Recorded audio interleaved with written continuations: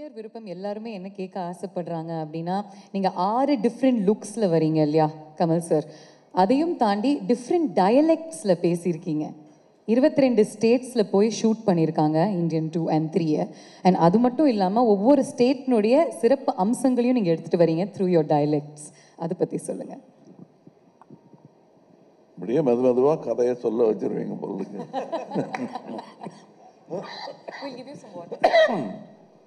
But uh, உண்மை என்னன்னா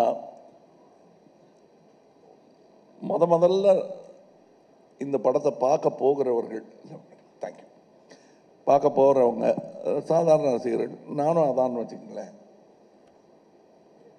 இப்போ என்ன செய்ய போகிறாங்க இப்போ எனக்கு பதிலாக இன்னொரு நடிகரை வச்சே அவர் இந்தியன் டூ பண்ணுறாருன்னு வச்சுக்கோங்க.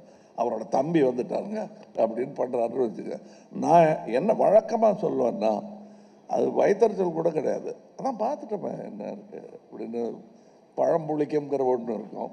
இன்னொன்று என்ன சொல்லுவோன்னா தாத்தா வருவார் அந்த உரமம் குத்துவார் அவ்வளோதானே அதான் பார்த்துட்டோமேங்கிறது தான் அது கடும் விமர்சனம் அதான் வைப்பாங்க ஃபஸ்ட்டு எல்லா வெற்றிக்கும் பின்னாடியும் அது ஒன்று ஆ தெரியுமே சங்கர் படம்னா நிறைய பாட்டு பிரம்மாண்டம் அவ்வளோதானே என்ன பிரம்மாண்டம் அவ்வளோதானேவா அதை எப்படி நம்ம போய் அவங்க கூட வாதாடுறது? அதுக்கெல்லாம் ஒரே பதில் நாம் திரைக்கதை அமைக்கும் விதம்தான். இந்த கேள்வியெல்லாம் அவங்களே பதில் சொல்லி அவங்களே ஒத்துக்கிட்டு சாரி சொல்லாமல் எங்களை பாராட்டி விட்டு வெளியே போகணும். அதற்கான முன்னேற்பாடை வந்து அவர் பண்ணாருங்கிறது தெரிஞ்சதுனால தான் நான் படமே ஒத்துக்கிட்டேன். ஏன்னா இதே கேள்வியோட தானே நான் அவர்கிட்ட போயிருப்பேன். ரெண்டாவது செய்யலாங்கும் போது அதான் பண்ணிட்டோம் சாருங்கிறது தான் மனசில் ஓடிக்கிட்டு இருக்கோம். இருந்தாலும் கௌரவம் மரியாதை காரணமாக சொல்லுங்கள் சார் என்ன அதே தான் இருக்கும். அப்படின்னு நினச்சிட்டு இருக்கும்போது சில வியப்புகளை ஒரு கதாசிரியனாக ஒரு நடிகனாக என்னால் என்னக்குள் அவரால் ஏற்படுத்த முடிந்தது. அதெல்லாம் இதில் இருக்குது லாங்குவேஜ் பேசுறது அதான் நீங்கள் பேசியிருக்கீங்களா அப்படின்ட்டா முடிஞ்சு போச்சு.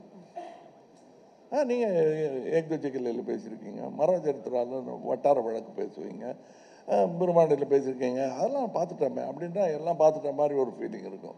The way he has brought about it இந்த படத்துக்கும் அதற்கும் என்ன?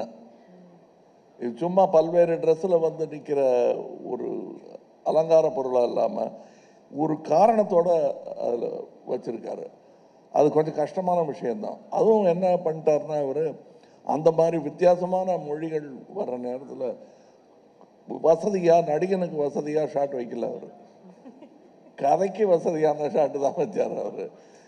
நடிகனுக்கு என்னென்னலாம் இடைஞ்சல் உண்டோ மூஞ்சியில் பிளாஸ்டர் ஒட்டி ட்ரெஸ்ஸும் போட்டு லைட்டு நிறையா போட்டு ஏசிலாம் பண்ணாங்க. பட் அதுக்கெல்லாம் தாண்டி இன்னும் சொல்ல போனால் சில ஷூட்டிங் கேன்சல் பண்ண வேண்டியதாக இருந்தது.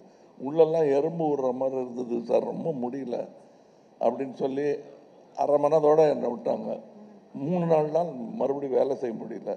இதையெல்லாம் கடந்து எனக்கு இப்போ இந்த காட்சி அமைப்பு சொல்லிட்டு இருந்தேன். வேற்று மொழியில் பேசணும். அதை நீளமான இதில் ஒரே ஷாட்டில் பேசணும். கரெக்டாக இருக்கணும். பல்வேறு ஆக்ஷன்ஸை அதில் சேர்த்து வச்சுருப்பார். இதெல்லாம் நீங்கள் படம் பார்க்கும்போது கிடைக்கிற சந்தோஷம் தனி. செட்டில் இருந்தவங்களே அதை ரசித்தாங்க இன்னும் சொல்ல போனால் இவரே ரசித்தார் அதை. அதுதான் எனக்கு ஃபஸ்ட்டு ஆடியன்ஸ் ரியாக்ஷன் அதெல்லாம் இருக்குது படத்தில். பட் அது ரொம்ப விளாவரியாக இப்போ நடிச்சு காட்டுன்னு சொல்லி மிமிக்ரி மாதிரி பண்ணி அதை கெடுத்துடக்கூடாது டெஃபினட்டாக இல்லை. நீங்கள் இவ்வளோ இன்டெப்த் சொல்லும் பொழுது அந்த காட்சிகள் நாங்கள் பார்க்கும் பொழுது உங்களுடைய வார்த்தைகள் எங்களுடைய காதில் ஒலிக்கும். வீல் ரிமெம்பர் தீஸ் வேர்ட்ஸ் அதனால் இது சூப்பர்ஃபிஷியலாக பார்க்க மாட்டாங்க யாருமே. தே நோ எவ்வளோ டெப்த்தோட நீங்கள் ஒவ்வொரு விஷயத்தையும் யோசிச்சு பண்ணியிருக்கீங்க எவ்வளோ ஹார்ட் ஒர்க்கோடன்னு இல்லை ரசிகர்களுடைய கருணைக்கு வந்து அளவே கிடையாது. அவங்களுக்கு பிடிச்சி போச்சுன்னா எங்களுடைய ஒ- ஒரு சில பிழைகளை மன்னிச்சிட்டு நல்லா பண்ணியிருக்காரு அப்படின்றத வழக்கமான ஒரு வார்த்தை குழந்தைய கொஞ்சம் மாதிரி கொஞ்சிடுவாங்க. அப்படித்தான் என்ன அறுபது அறுபத்தஞ்சு வருஷமாக கொஞ்சிக்கிட்டு இருக்காங்க. அதுக்கு என்றென்றும் நன்றி கடன் பட்டவன். ஏன்னா நான் வந்து பண்ண எல்லாமே பர்ஃபெக்டாக பண்ணிட்டேன். நான் உலக சினிமாக்களை நான் பார்த்துக்கிட்டு இருக்கேன். என்னை விட சிறப்பாக நான் செய்த காட்சிகளை வேறு உருவத்தில் அவர்கள் செய்யும் அது அட்டே இப்படி பண்ணியிருக்கலாமேன்னு யோசிக்க வைக்கக்கூடிய இளைஞர்கள் நிறையா பேர் இன்னைக்கு வந்துட்டாங்க. அதுக்கு நடுவில் என்னை அன்பின் காரணமாக மட்டுமே தோளில் தூக்கி வைத்திருக்கிறார்கள் என்ற சந்தேகம் எனக்கு ரொம்ப நாள் உண்டு.